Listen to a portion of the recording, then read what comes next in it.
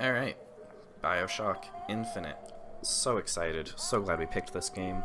Um, this is one of my all-time favorites. Huge fan of the Bioshock series, Bioshock 1, Bioshock 2, um, and uh, I was super excited when this game came out.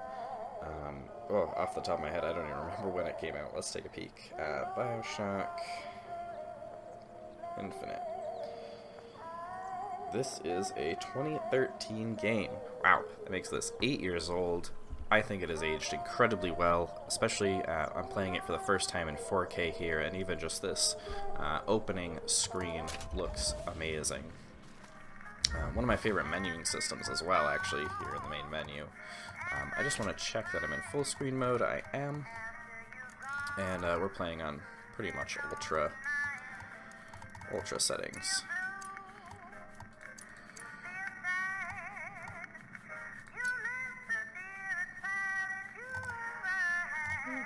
Let's try that even. Love depth of field, so. Yeah, that's actually pretty great. And it looks like my frame rates are about the same, so. Um, not going to be playing through any of the DLCs, I don't think. Um, although I do have them all. And, uh, yeah, let's uh, dive into it. I actually already did this once, uh, so I'm going to have to start over. Uh, my recording messed up, and I'm probably not going to go quite as far this time.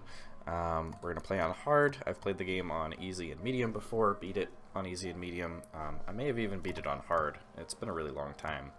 Um, not going to play on 1999 uh, just because it's a, a, permadeath mode, and I'd like to be able to keep playing um, and, and, finish the game through this month. So, And also, this is my first time really recording a game uh, for YouTube and, and for you guys at patient gamers, uh, and uh, etc. So, with all uh, due haste, let's jump into this. So, hard, continue,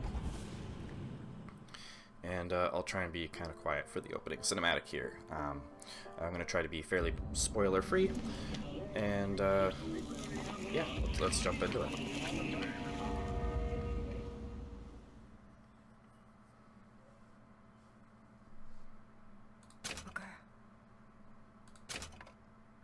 Afraid of God?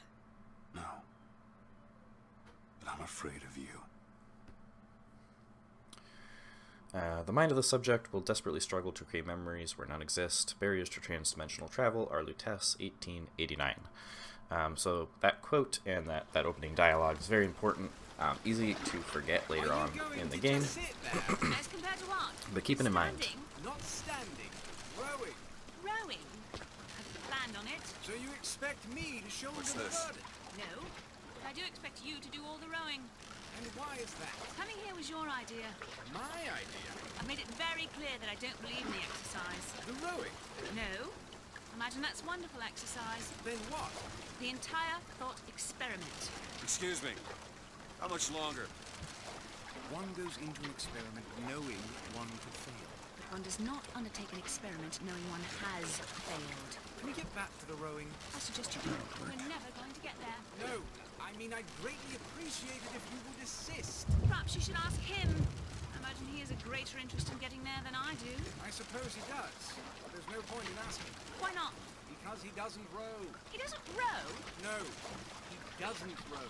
Ah, I see what you mean.